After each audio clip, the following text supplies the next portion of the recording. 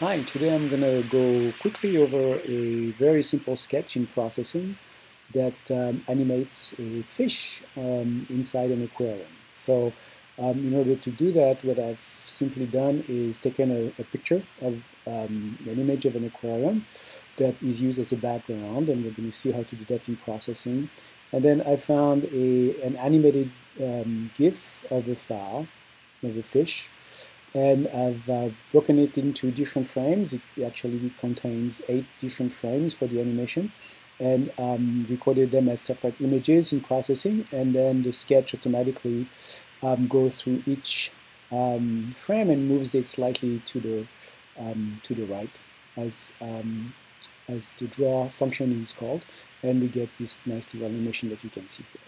So um, I've written a, a, page that explains all this. So we're going to take a look at, um, at it right now.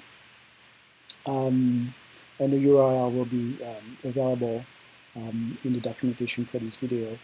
Um, so here's the page with a little YouTube movie showing you how that works. And uh, we're going to go through all the, the, the, different phases there. So first you have to find an image using this one you can find plenty of different images on the web. Pick one that um, that look good. This image is going to be redrawn every time the draw function is called so you don't want it to be too too large. Otherwise you your uh, program your processing code is going to spend a lot of time uh, redrawing it so your animation may be a little slow. So don't take something too big. And then find a, um, a fish uh, animated. So look so the keyword would be animated GIF fish and uh, search on um, with your favorite um, browser, um, search on the web. I found this particular fish which has a transparent background. So that's an important um, uh, property that you want of the GIF is you want the image around the fish itself to be transparent so that when it's going to be drawn on top of the aquarium you won't see this square around the fish but you'll just see the fish itself. So that's the um, animated uh, GIF file that I found, and it contains eight um, different frames. Um, and see one frame the eyes are closed, and then some frames the mouth is open, and definitely the tail the tail moves. So um, the first thing to do is to put the um, all this information in a data directory. So what you want to do, um, this is the Aquarium 0, I've called this particular uh, sketch Aquarium 0. This is the directory of the folder where it's located. I'm using a Mac, but it will look very similar on a Windows machine. Uh, Aquarium 0 PD is the file containing the code, the processing code. Then you have to create a data directory inside um, that. And um, so what you will um, see if you look inside Aquarium 0, the Aquarium 0 folder, is that aquarium 0 PD, then the data directory. And inside, um, don't worry about all this. What, what is important right now is this fish. The animated GIF is right here. And uh, the Mac is nice in showing us what, what that looks like. Um, these other files will will create a little later on. I'll show you these are the different frames, but usually you don't, you don't get them directly. The, the, the, the GIF file contains all the frames, and that's where you get the animation from. Unfortunately, processing cannot animate this. We have to do it ourselves. So that's why we'll need the eight separate frames and, and kind of display them ourselves one after the other. All right. So uh, let's go back here. And the first thing to do is once you have the aquarium and, and uh, the fish, you put them together in a very simple sketch. So let's take this uh, sketch right here. Um, let me comment all this out. This is the final sketch. Um, and this code is available on the page here, so have the final code, so don't worry about trying to replicate it. You'll have access to that.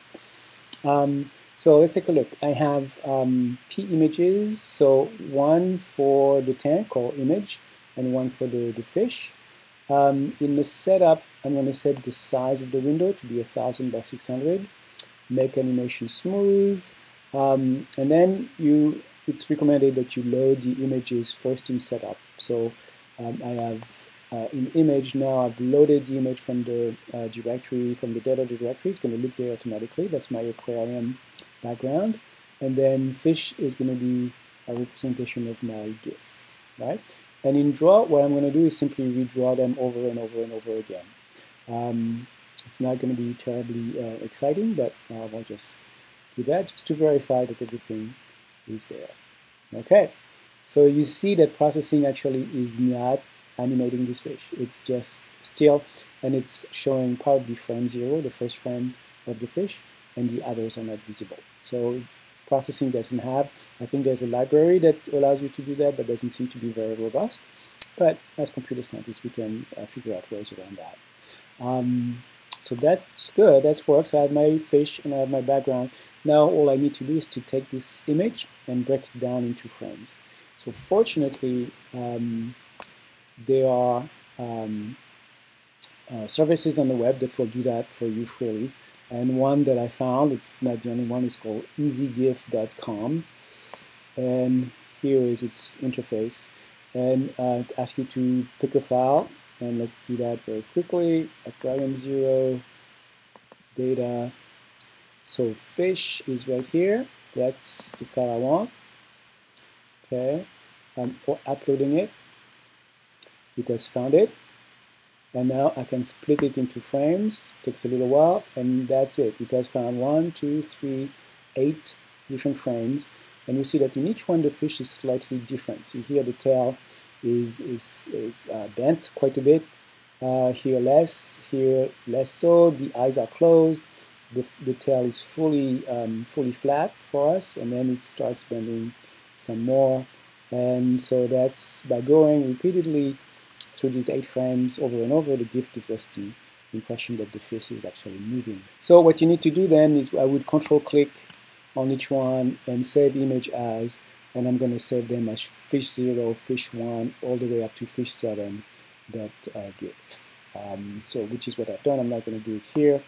We can quit this.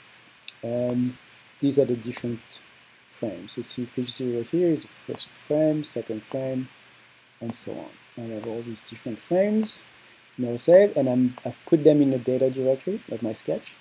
So now I'm ready to use these and animate that. So let's go back to the, um, the page. Here, the tutorial.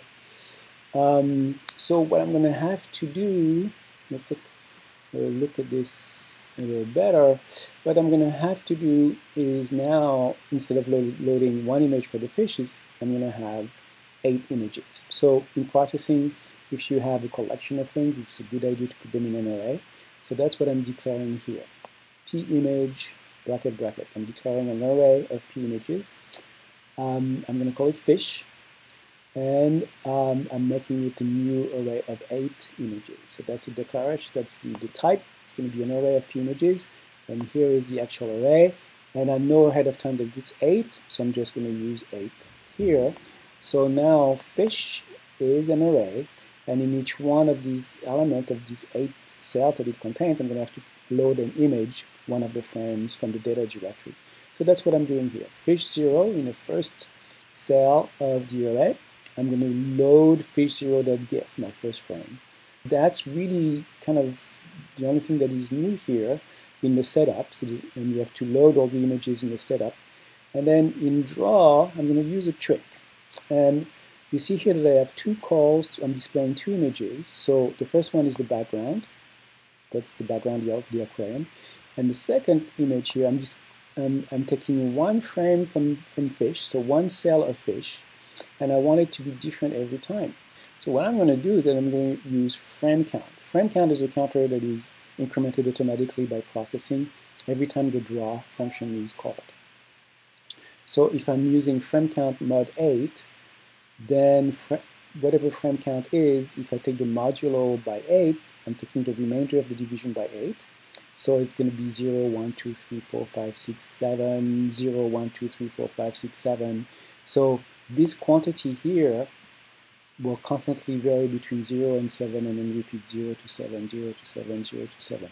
So this way I can pick one cell of the array fish every time I, the, the draw function is called and display that at 200, 200. So that's the location that I'm going to have on the screen.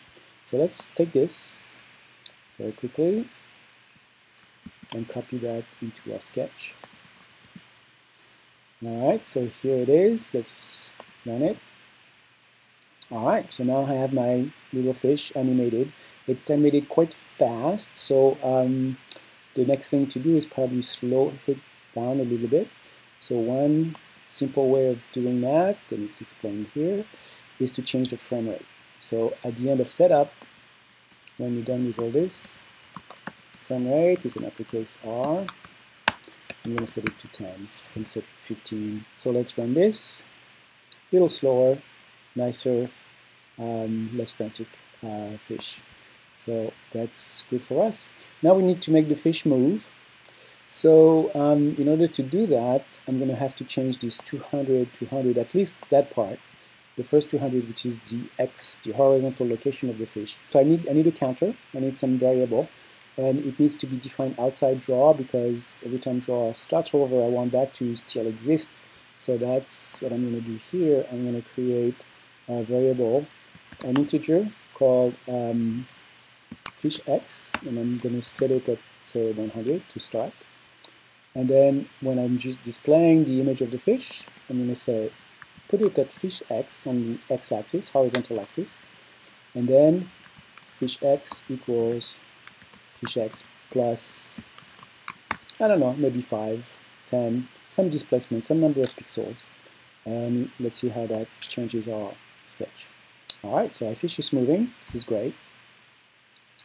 And 5 seems to be a good a good displacement, 5 pixels every time it's drawn, a new frame is drawn. And uh, it's a little um, um, jagged, but it, it looks, um, looks, it looks good. Unfortunately, when it goes all the way off to the right, it doesn't come back, so I have to fix that.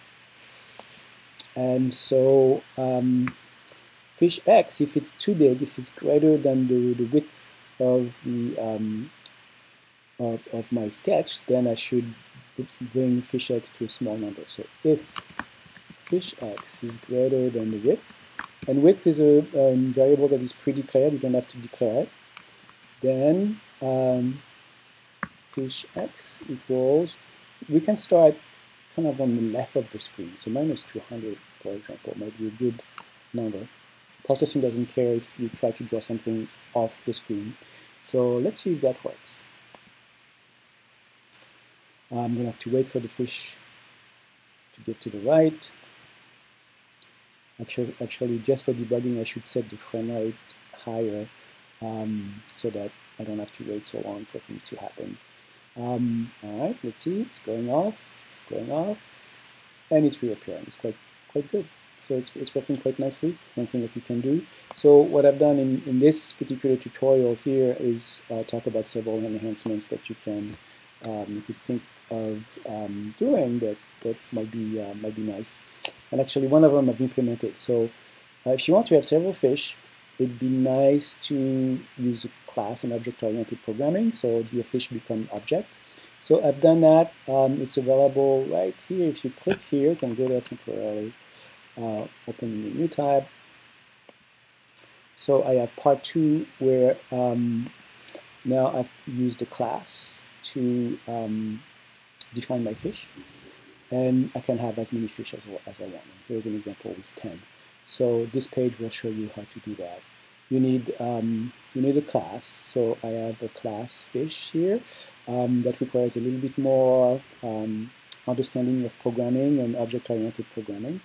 So some interesting concepts. But if you already know that, you should be able to look at this class and figure out what it does and how my now new aquarium um, can use a school of fish. So here in this case I have 10 fish, but I could have 20, whatever number, you just change that, and then you change the number of fish. It's very, very nice. All right, so this is it for um, this sketch um, and this little tutorial. Good luck. I hope you, uh, you enjoy processing and, and doing some uh, cool animation.